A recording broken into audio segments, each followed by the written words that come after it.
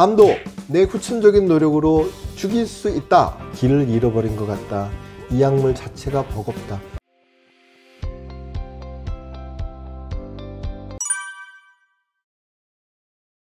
사진을 보고 계십니다.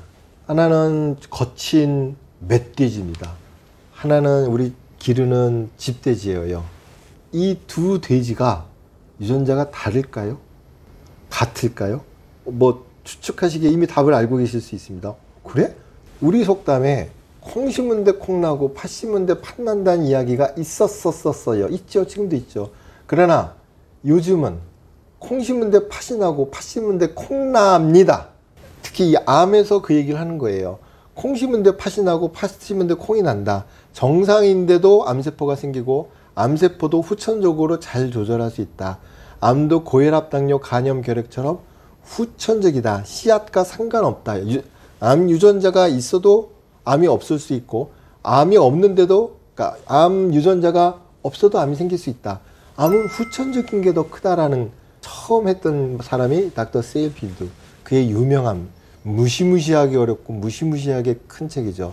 대사질환으로서의 암. 저는 86학번입니다. 저희가 배울 때는 암은 유전병이라고 배웠습니다.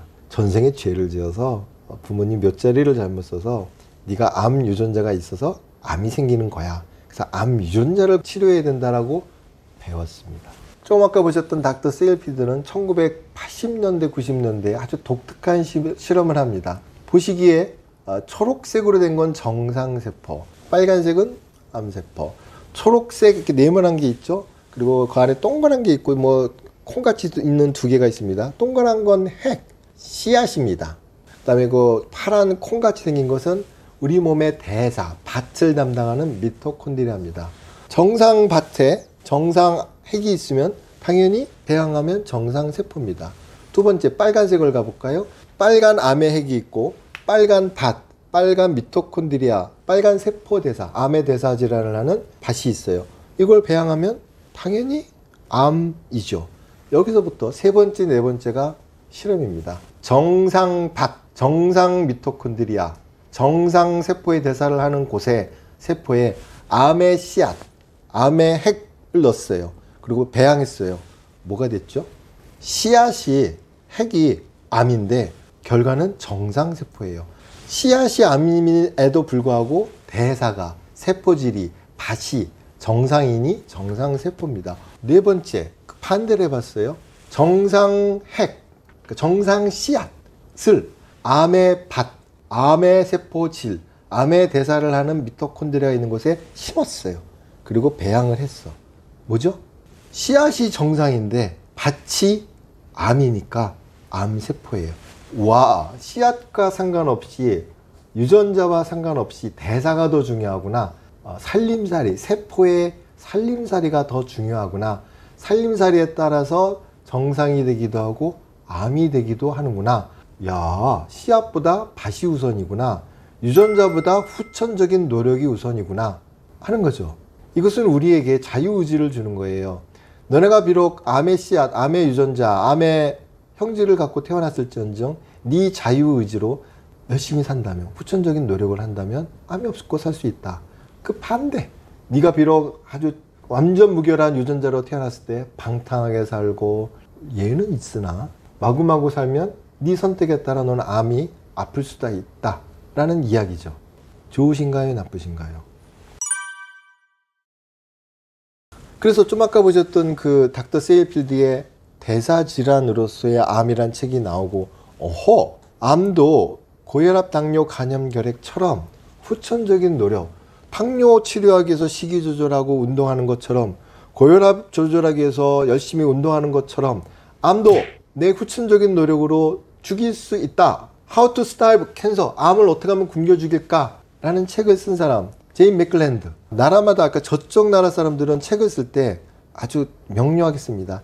이럴 수도 있고 저럴 수도 있는데 제가 이런 게 아니라 저 사람은 물리치료사인가 그래요. 자기가 유방암이 걸렸고 항암 방사선하며 전이 재발 전이 재발하다가 치열하게 공부를 해서 자기가 검증하고 자기가 확인하고 한 내용을 책으로 썼습니다. 아주 훌륭한 책입니다. 내용인즉슨 암도 암도 네 새끼예요. 네 세포였어요. 그 중에 하나가 좀 삐뚤어된 아이니 그 아이도 나처럼 먹고 사는데 어, 단백질, 탄수화물, 지방을 대사를 하니 암이 대사하는 그 단백질, 지방, 탄수화물을 끊으면 차단하면 굶어 죽지 않을까로 시작한 거여서 그 각각의 경로를 끊는 약물들을 쫙 여러 가지 방법들을 리스트업한 책이에요. 훌륭한 책입니다. 한국어로 번역도 돼 있고 저 책으로 공부한 환우들도 많고 저 책의 치료법을 적용하는 분들도 많습니다. 그 내용이 가장 핵심적인 게 저거예요. 암세포도 지방, 탄수화물, 단백질을 먹고 있으니 그걸 끊어보는 어떤 약물 경로들이 정리된 거예요. 예를 들어 탄수화물을 끊어보세요. 그럼 여러분들이 알고 계신 그 당뇨약. 당뇨약이 아니라 탄수화물의 대사를 차단하고 혈중 탄수화물 농도를 낮추니 당뇨약으로도 쓰는 거예요. 선호가 바뀐 거지요. 그래서 저게 한 5년 전 정도에 이제 한국에 소개되고 번역되고 같이 공부하는 의사들 모여서 야 이런 방법이 있어 암은 대사 질환인데 이렇게 현실적으로 해본 사람이 있어 제이 맥라인 최고 이른바 COC 프로토콜로 해서 이렇게 여러 가지 약물들을 정리 쫙 했죠. 저기 보시는 사전이 그 어떤 환자가 난 이렇게 암을 굶겨주기 위해서 먹고 있는 약들이에요. 뭐 berberine부터 시작해서 metformin 쭉쭉쭉쭉쭉쭉 많아요. 그런데 저 약물 중에 일부는 아, 뭐 iHerb 등에서 살 수도 있는 것도 있고 또 일부는 off the label이라 그래서 굳이 병원에 가서 처방을 받아야 되는 것들이 있어요. off the label이 무슨 뜻인가요? 허가상 이외의 약이란 뜻이에요. 그러면 어, 부정적인가요? 여러분들 비아그라가 탈모제 치료제로 개발된 건 아시죠? 탈모제로 치료했는데 엉뚱한 효과가 있어서 다른 용도로 쓰고 있는 거예요. 그럼 오프라벨인 거예요. 저 약 중에 메트폴민이라는 성분이 있습니다.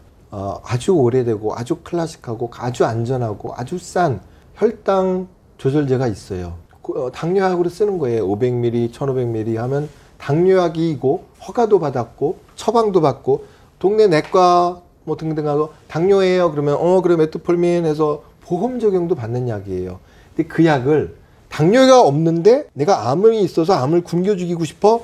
그래서 그 메트폴민을 갖다가 500ml, 1000ml, 2000ml 먹으면 그때 우리는 그걸 오프 더 라벨로 썼다 라고 표현하는 겁니다. 그럼 메트폴민을 받으려면 굳이 병원 가서 제가 당뇨는 아닙니다만 처방 좀 해주시오.